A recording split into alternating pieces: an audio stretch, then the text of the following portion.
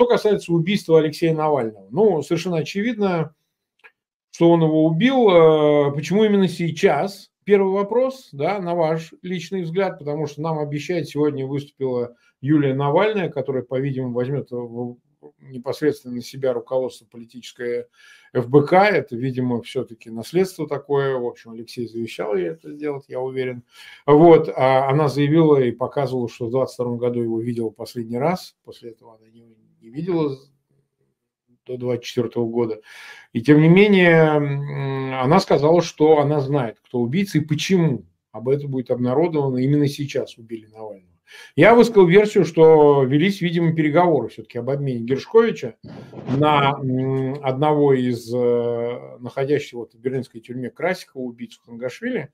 И я так понимаю, американское руководство пыталось в довесок к Гершковичу забрать, забрать, эм, э, забрать э, Навального. Это логично. А теперь, когда он убит, вот уже отдавать не надо. Потому что скажешь, ну что же мы сделаем? Он умер.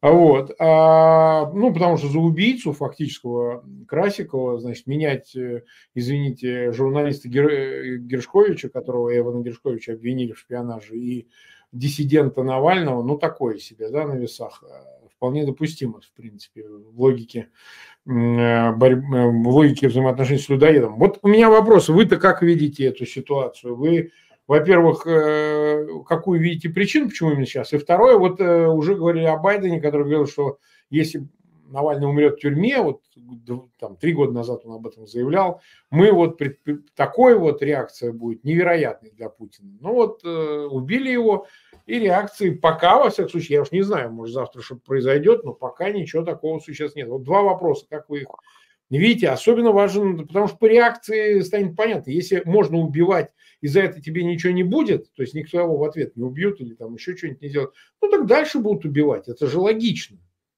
То, что произошло однажды, то, что повторится дважды, а произойдет и трижды, и больше раз. Вот о чем речь.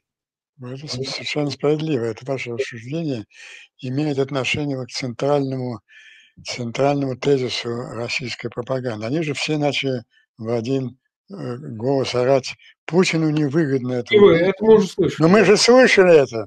Путину невыгодно убийство Политковской. Да. Путин был взбешен, когда узнал о убийстве Политковской. Путину да, невыгодно было убийство Немцова. Путин был взбешен, когда узнал о убийстве Немцова. То же самое, все он убил, все он убил. То же самое повторяется с Навальным. Но люди или не понимают, или сознательно не хотят понимать психологию серийного маньяка, убийцы, садиста. И давайте рассмотрим такую более массовую категорию убийц, не главы государств, но а такие обычные маньяки типа лондонского потрошителя.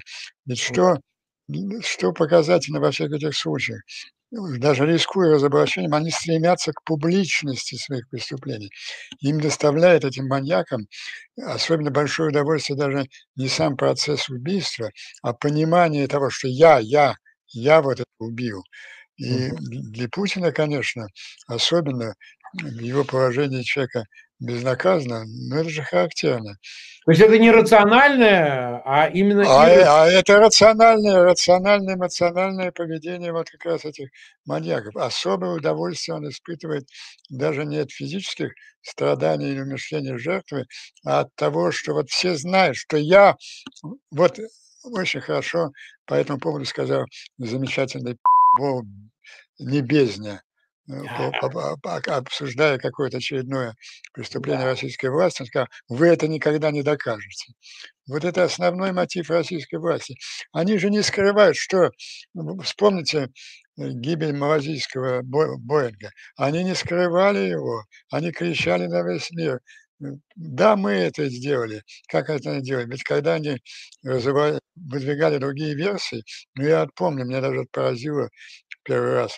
В одном и том же телевизионном сюжете сначала пять минут они доказывали, ссылаясь на какого-то испанского диспетчера, что сбил Боинг украинский пилот, а потом какой-то институт Академии, Академии наук доказывал, что сбила испанская, э, украинская ракета все это им приятно было кричать, да, мы сбили, и нам ничего не будет, и вы никогда не докажете.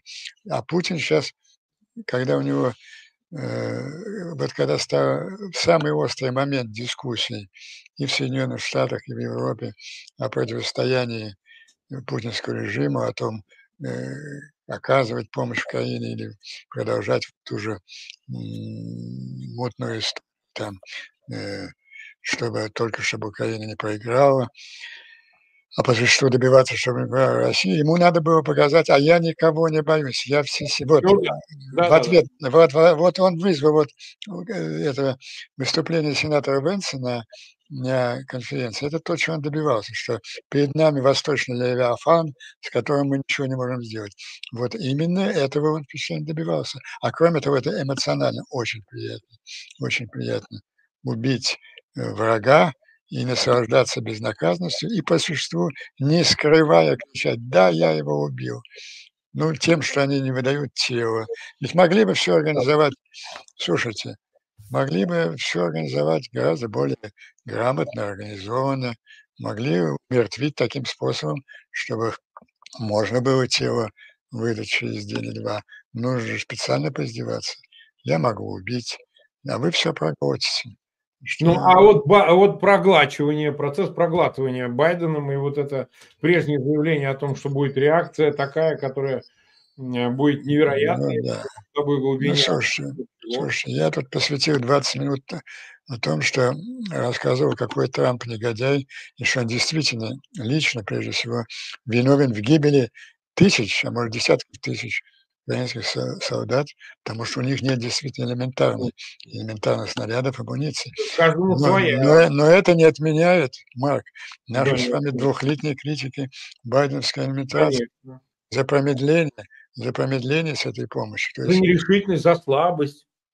Ну, за мы, же, мы же видели.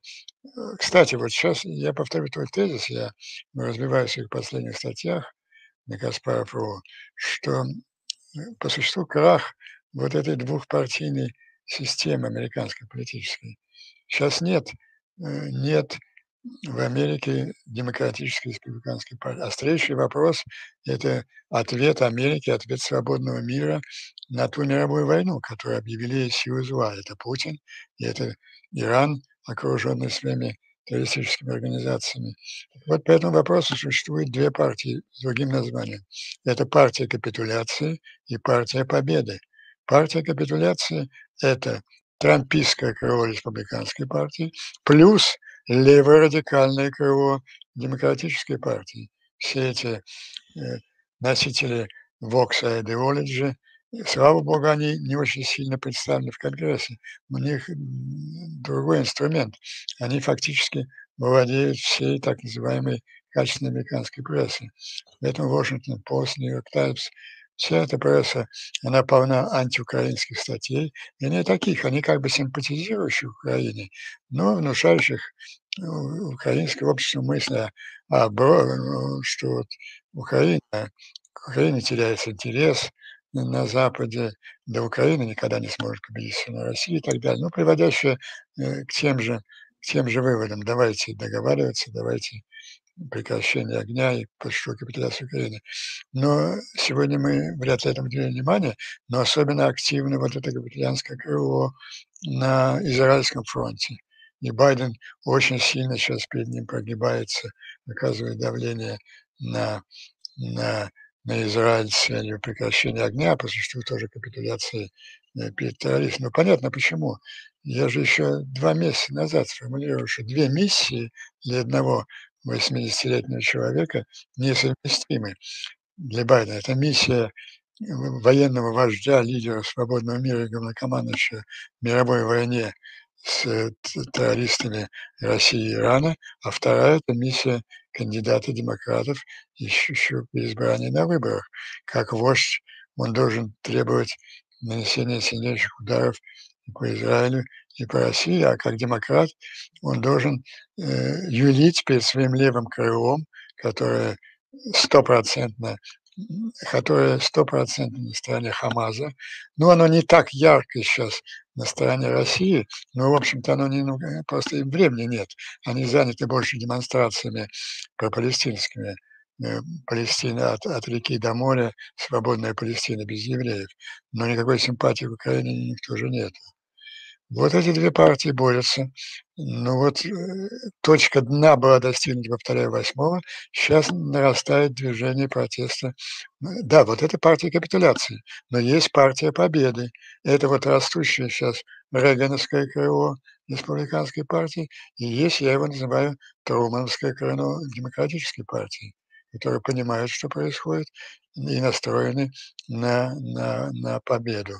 Мне кажется, вот весь ход последних событий, особенно вот единодушная реакция Европы, новые, демонстративные, циничные, издевательские, над тем же Западом преступления Путина, они дают, дают аргументы вот этой партии победы.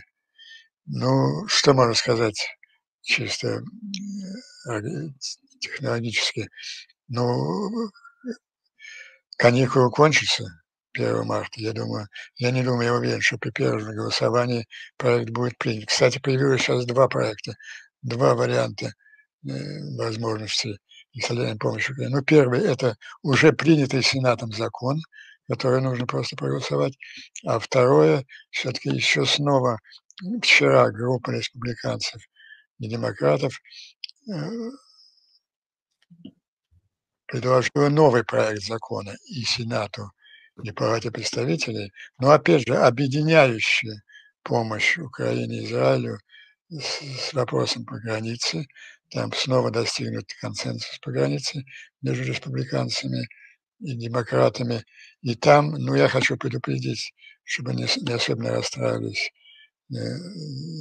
честномерие Украины, там помощь Украине сегодня не 64, а 49 миллиардов долларов.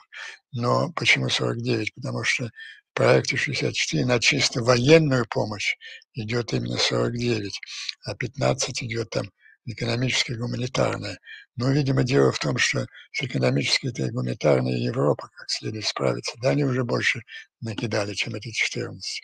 А вот главное сохранить ядро военной помощи. Действительно, эм, я говорю, что уже нет сомнений и общественное мнение в Европе и в Америке, что закон о финансировании будет принят.